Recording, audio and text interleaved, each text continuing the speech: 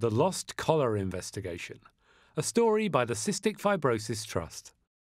This is Rosie. She lives in an orange house with her mummy, daddy, and big brother Bobby. Oh, and not forgetting their fuzzy yellow dog Milo. Here he is. Hi, Milo. Oh. Rosie's family is a bit different to other families. They have a disco ball in the kitchen. Bobby dresses in black all of the time, and Rosie's mum has cystic fibrosis, or CF. Have you heard of CF? No? Well, it's something you're born with and it makes your lungs sticky inside, which gives you a cough and can make you feel poorly sometimes. Rosie's mummy also has to eat more than other mummies and take special eating pills because CF can affect her tummy as well. Rosie and her family have a lot of fun, like today.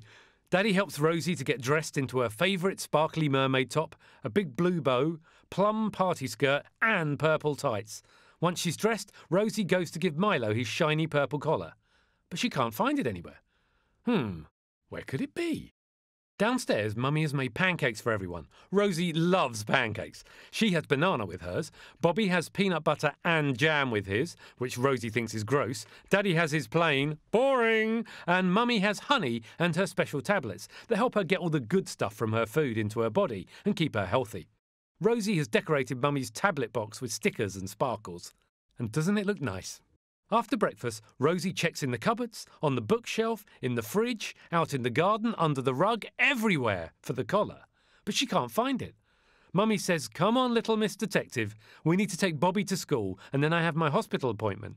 We'll investigate later.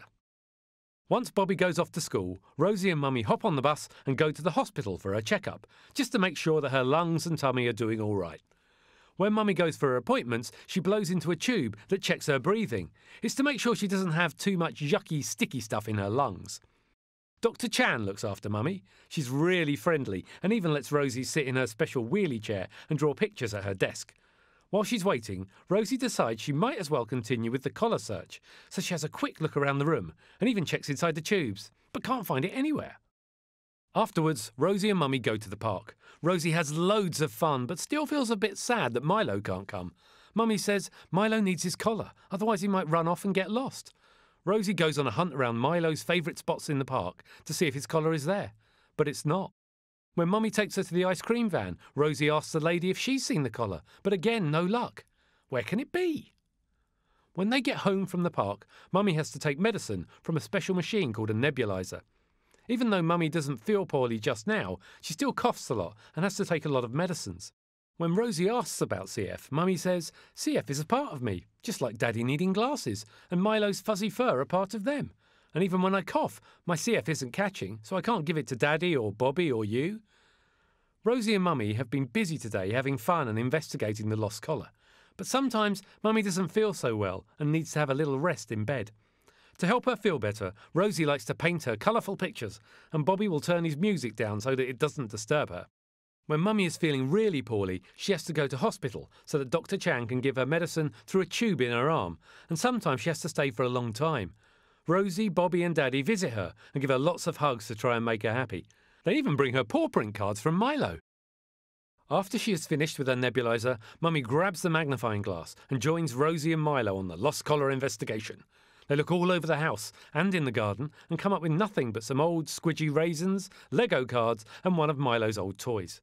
They are both very tired and hungry after all their hard work and investigating. But what's that? Yay! The boys are home and they have pizza! It's finally bedtime. Rosie gets her PJs on and snuggles under the covers with Milo. As Daddy puts Rosie's dirty socks in the laundry basket, he notices something sparkly and purple, and he pulls out Milo's special collar. You found it, Rosie says, and they all cheer as Mummy puts the collar back on Milo. he must have wanted it washed, she laughs. Milo wags his tail and they settle down to sleep. Rosie's mummy and daddy turn off the lights. The mystery has been solved. The end.